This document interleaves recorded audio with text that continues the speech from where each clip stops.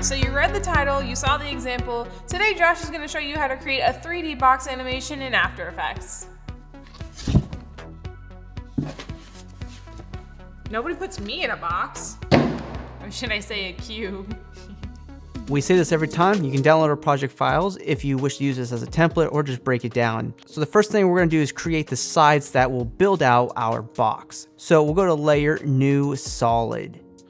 And we're gonna use a width and height of 900 by 900. You may use any square one-to-one -one size, but if you wanna keep the math easy, you may follow along with us with a 900 by 900 and we'll click okay. So now that our box is created, we'll go to layer, pre-compose. We'll call this box one and we'll click on leave all attributes and click OK. Then we can double click on the comp and here is our box. From here, we're welcome to grab the textile tool and just type out our text.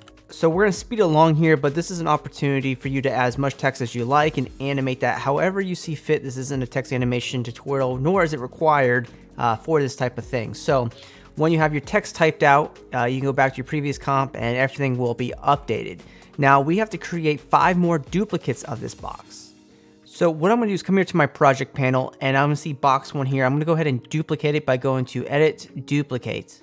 And now I'm welcome to double click this composition and, you know, remove titles or just quickly change out the text because obviously you're going to want, you know, the text to say something different for every different side.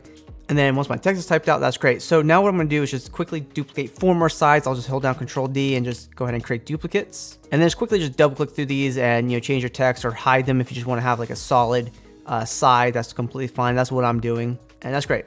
So now that we have all of our sides created, now we can be back in our main composition and we can turn this into a 3D cube. Okay, so with our first box in here by default, what I can do is just hit enter on my keyboard. I'm gonna rename this to front, so it'll be box one front. And I'm gonna turn this into a 3D layer and I'm simply just gonna have P on my keyboard. We're gonna come here to the Z value and we're gonna set this first value to half of the actual size of the box. So we know this is 900 by 900. We want this to be negative 450 because this is gonna come closer to us. So if your box size was 1000 by 1000, uh, you'll want this to be negative 500 okay? So now I wanna bring in the next box here and I'll call this the bottom. So we'll call this box to bottom. So then I'll turn this into a 3D layer as well, hit R my keyboard for rotation. I'll come here to the X rotation and set this to 90 degrees. So you'll see this thin line facing straight towards us.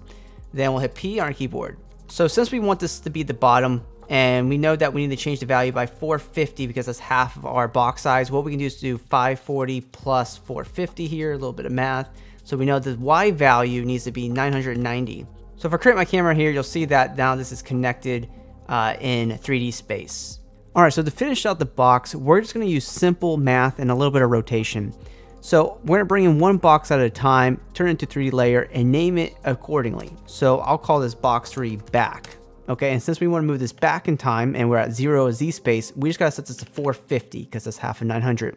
And since we already have the bottom in here, what we can do is we can take this layer and just duplicate it, bring it to the bottom of our stack.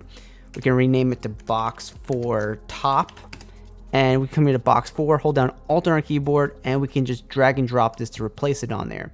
Then you hit P on keyboard for position, and since the middle point of the Y value is 540, all we need to do is subtract 450 from that. So that'll leave us with a Y value of 90. So we'll set that Y position to 90, and if I create a camera again, and with my camera in here, I can rotate around and see, okay, that we are doing this correctly. So now we just have the left and right. We'll go ahead and bring both of these other boxes in here. And again, we'll set 3D layers, rename them to left and right. We'll bring up the rotations and we'll set the Y rotations to both of these 90 degrees. Then we'll hit P on keyboard position. And this time we're going to be affecting the X value. 960 minus 450 is 510. So for the left side, we'll set the X value to 510. And then from here, we'll add 560 plus 450. And that'll be 1410 for the right side for the X value. So now our box is completely done and every single side is intact. Before we move on, as you know, creating motion graphics from scratch is obviously very time consuming and it can be incredibly challenging. That's why we made over 5,000 templates to help you save time and produce awesome work under one subscription.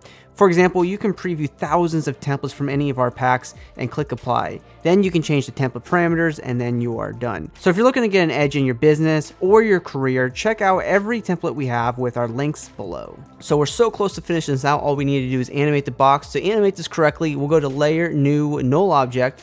We'll set the null object to a 3D layer And we'll grab all of our layers except for the null object and parent it to the null that we just created. And now if we hit R on keyboard for rotation, we should be able to easily rotate this from the center of our box. We can animate this easily, so we can add a keyframe for you know X, Y, and Z rotation if that's what we want to do. We can move forward to say two seconds, and we can just you know, rotate it like so if you like. You know, we set the X rotation to say negative 45 degrees. We can come here to the Z rotation, maybe turn that by a little bit as well. So I'll set my rotations to these values, but you may do whatever you like. And we can have this stay like this for like a few frames. I'll add a keyframe for all this. I'll move forward to let's say a little past three seconds and I can rotate this on to say the next slide here. So it'll look just like that. I grab all my keyframes, hit F9 to make them easy. Ease keyframes, go to our graph editor. I can grab all my points here in the middle and just kind of drag in these handles right to the center like this. It'll just give us a nice snapping animation. Um, and I can quickly just create a new camera, go to layer, new uh, camera and click OK. I'm gonna come here to the top and grab this uh, dolly towards cursor tool, which is the Z camera tool is what I like to call it.